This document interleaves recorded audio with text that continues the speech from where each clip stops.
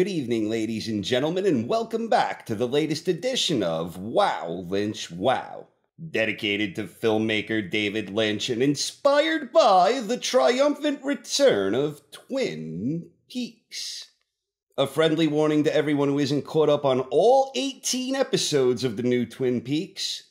There will be spoilers and they will begin shortly, so viewers and listeners be warned. Part 17 begins with Gordon Cole making a confession to Albert. 25 years ago, Major Briggs told Cole and Cooper about an evil entity he discovered.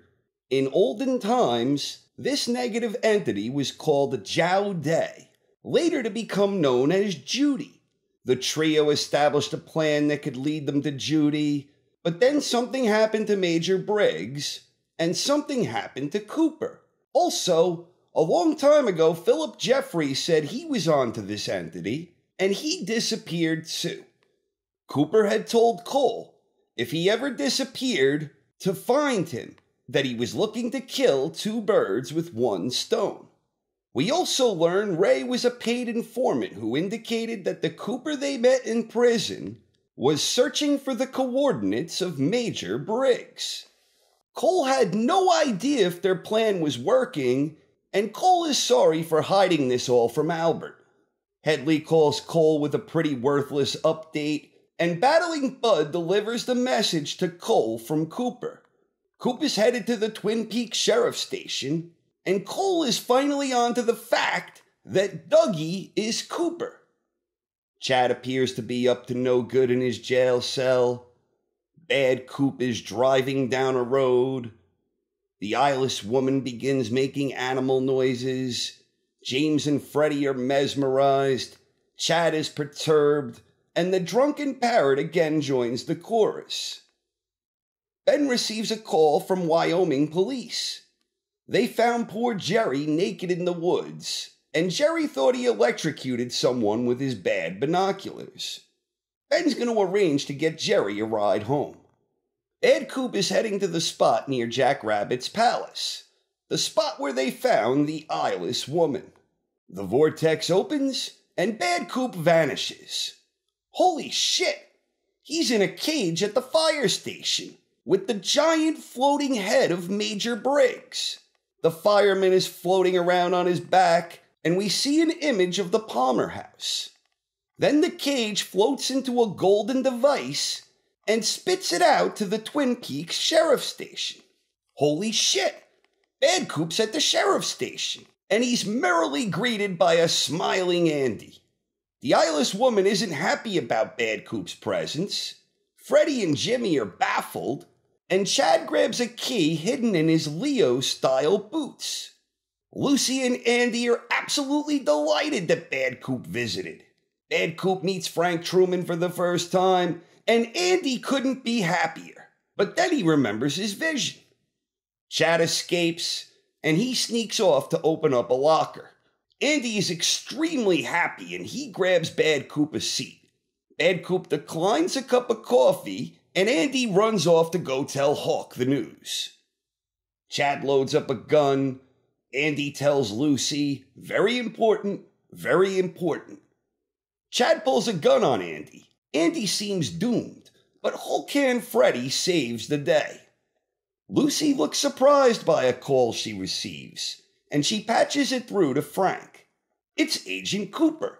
He learns that Frank is Harry's brother, and Coop asks if they have the coffee ready. At that moment, Bad Coop and Frank pull their guns on one another, but Lucy saves the day. The real McCoy hears news of this and warns them to stay away from the body. Andy brings the jail crew upstairs. Lucy finally figured out cellular phones. Hawk busts in. James comforts Naido. And everyone is mesmerized as the woodsmen appear and begin doing their thing. Cooper and the Mitchum brothers are on the scene. The woodsmen are doing their thing. And here he is, Bob, in orb form. He's floating around and he looks angry. He knocks Coop on his ass. Coop asks for Freddie. His destiny is here. Bob and Freddie have a back and forth battle.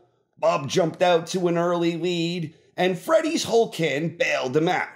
After several swings in momentum, Freddie delivered the knockout blow that shattered the bob orb. Pieces were flying everywhere, and they vanished as they headed upward. You did it, Freddie. Cooper places the ring on his doppelganger's finger, and Bad Coop vanishes as the ring crashes to the floor in the Black Lodge. Coop asks Frank for the room key for number 315 at the Great Northern. Bobby joins the room. Coop tells Bobby of his father's genius and foresight, and Cole, Albert, and Tammy bust in like a bunch of Johnny come latelys. Cooper tells the room some things will change, the past dictates the future. Candie, Sandie, and Mandie arrive with a large abundance of sandwiches. Coop and the eyeless woman touch hands, and the eyeless woman is revealed to be Diane. Holy shit, she has red hair now. Cooper gives Diane a kiss in a room full of onlookers, and Cooper asks if she remembers everything, and she says that she does. The clock is turning to 253. Cooper says, We live inside a dream, and I hope I see all of you again, every one of you. Then Cooper seems to have temporarily entered the moment from when Jeffries appeared but didn't appear. Cooper, Diane, and Cole are walking. They arrive at a door and Coop unlocks it with his great northern key. He bids them farewell, opens the door, and says, See you at the curtain call. Coop is greeted by Mike, and Mike recites his favorite poem, Fire, Walk With Me. Coop and Mike are walking in the convenience store. They're moving slowly, and they're awfully quiet, and the running man heads in the opposite direction. Mike opens the door, and the two of them visit Philip Jeffries. Cooper says February 23rd, 1989. Jeffries replies, I'll find it for you. It's slippery in here. It's good to see you again, Cooper. Say hello to Gordon if you see him. He'll remember the unofficial version. This is where you'll find Judy. Jeffries shows Cooper some familiar symbols that wind up as a number 8. Jeffries tells Cooper he can go in now, and remember, Mike says electricity. Holy shit! It's a jump back in time to Laura's final hours. She hops on the bike with James. Cooper is watching from a distance. Laura screams when she sees Cooper. Coop tries to hide, and James and Laura resume their dialogue from her final day. She jumps off his bike at Sparkwood in 21. She tells James she loves him, and then she runs off into the woods. Leo, Ronette, and Jacques are waiting. But Cooper intercepts Laura. She recognizes him from her dream. Cooper reaches for Laura's hand. Before Pete Martell goes out fishing the next morning, Laura's body is no longer there. Cooper leads Laura home by the hand, and holy shit, Pete is fishing. There's no Laura, no dead body, so Pete actually gets to do what he wanted to do. Pete is fishing. But things are not well in the Palmer house. Sarah's making some awfully spooky noises, and then she grabs Laura's picture and she begins smashing it with a bottle over and over and over. Cooper is guiding Laura by the hand, but then suddenly Laura disappears, and we hear the sounds of her demise from back inside the Black Lodge, from right after she whispered to Cooper. Part 17 ends with Julee Cruise performing at the Roadhouse, and part 18 begins with Bad Coop burning. He seems to be suffering, but he doesn't appear to have been destroyed. Mike puts the Dougie seed next to the lock of Cooper's hair. He says the word electricity, and the gold pearl creates a new Dougie, and he's fired up to know where he is. Dougie comes home and Janie E and Sonny Jim are thrilled. Cooper's leading Laura through the woods, and she vanishes from his grasp. Cooper remembers back into the future. Mike beckons Cooper. He follows. It's the arm. The arm says, Is it the story of the little girl who lived down the lane? Cooper remembers Laura whispering to him, and her being subsequently destroyed. He also remembers Leland saying, Find Laura.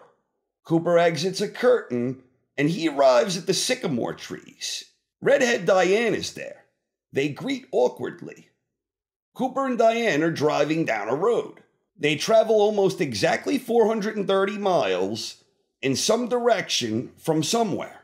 There's a strong electrical presence. Coop checks his watch. Coop tells Diane to kiss him. He says once we cross, it could all be different. The two kiss passionately, and then they're ready.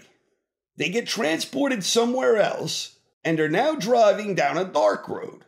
They ultimately arrive at some sleazy motel.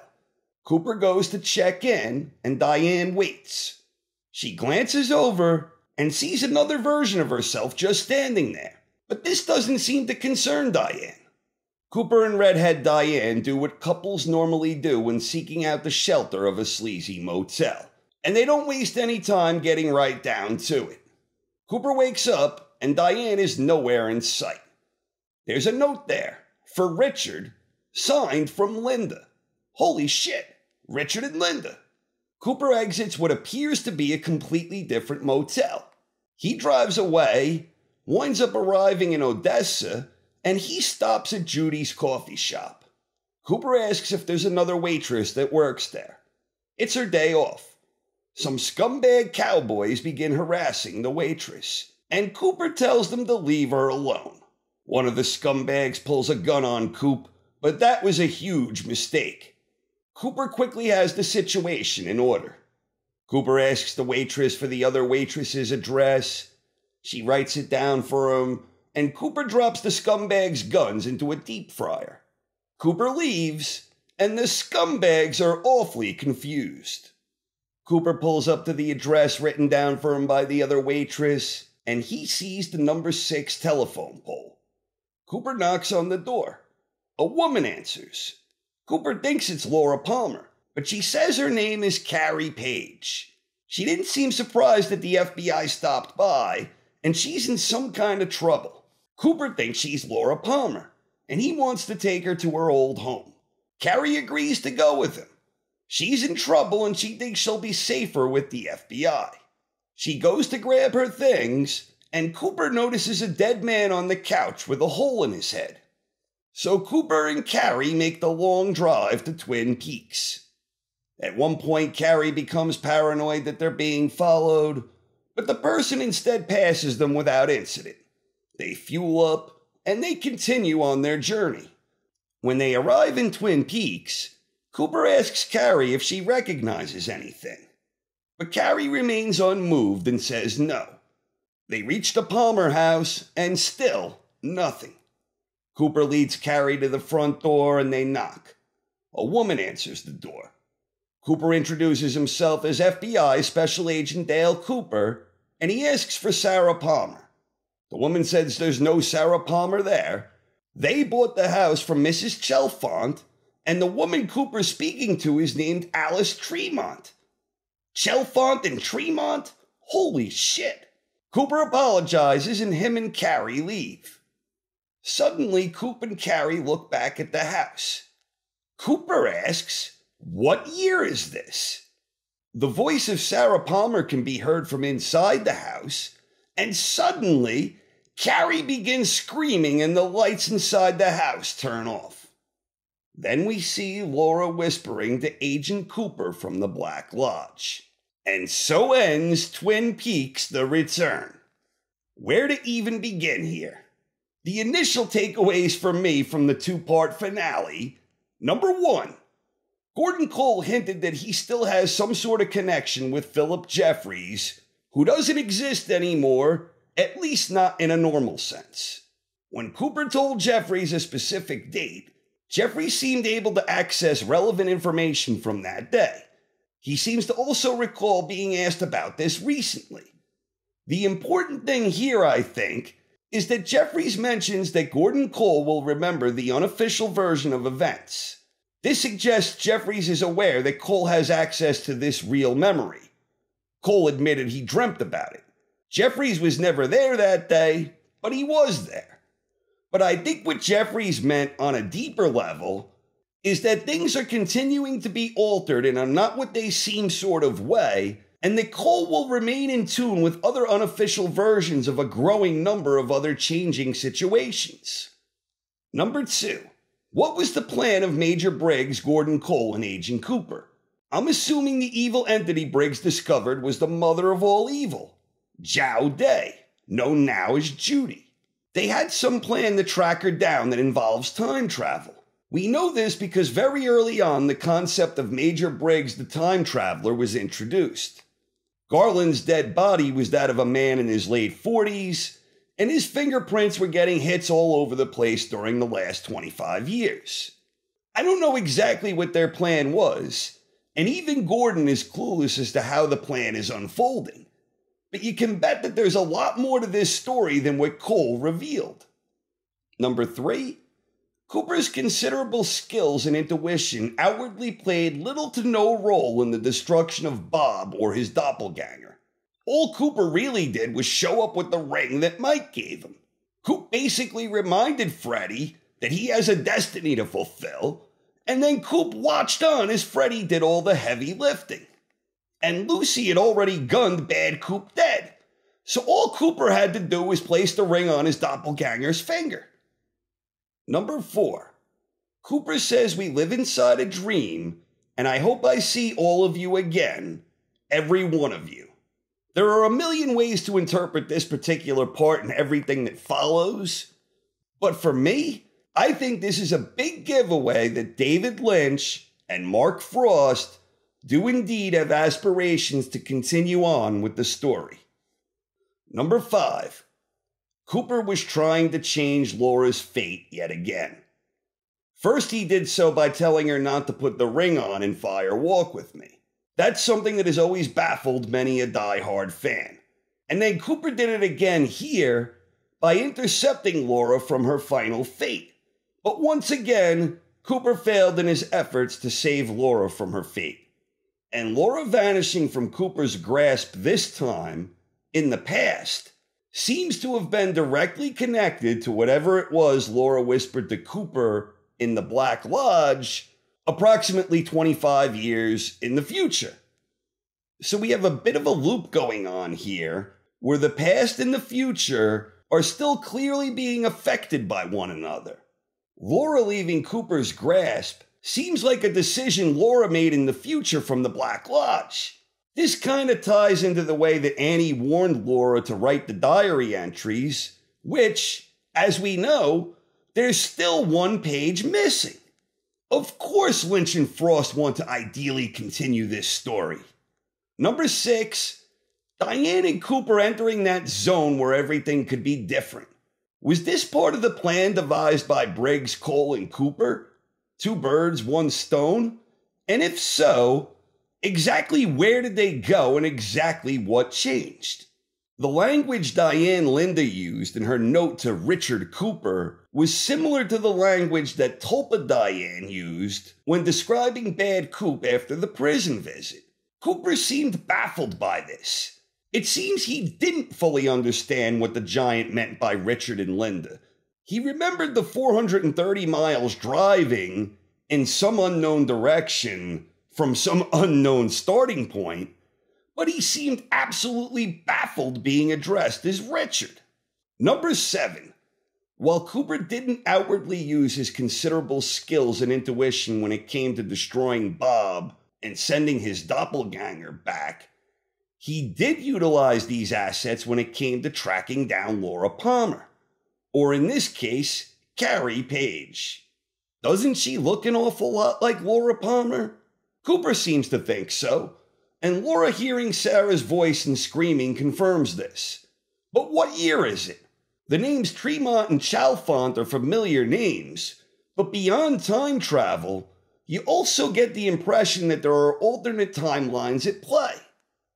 Number 8. It now appears as if the firemen did not create Laura in response to Bob, because Bob was destroyed seemingly without Laura's involvement.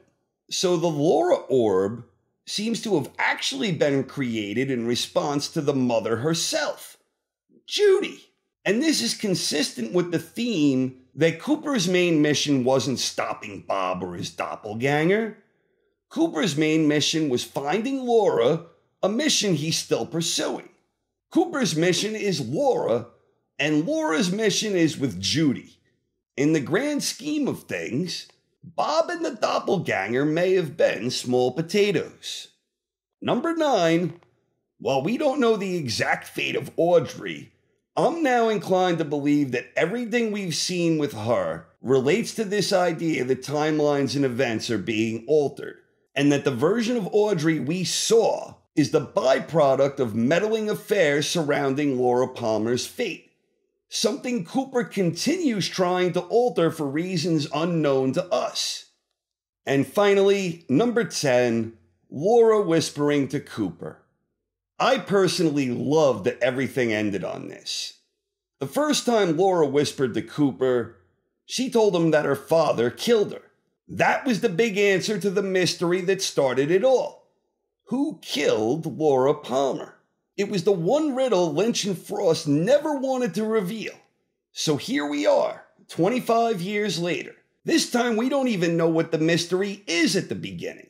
But the big mystery once again boils down to Laura whispering to Cooper.